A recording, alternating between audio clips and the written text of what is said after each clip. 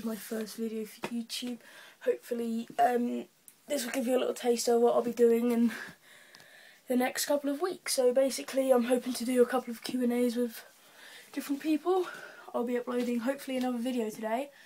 It depends whether I can or not.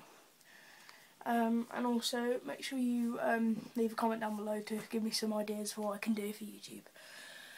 Also make sure you um, like and subscribe this video to, to this video and I will see you in hopefully a couple of days. So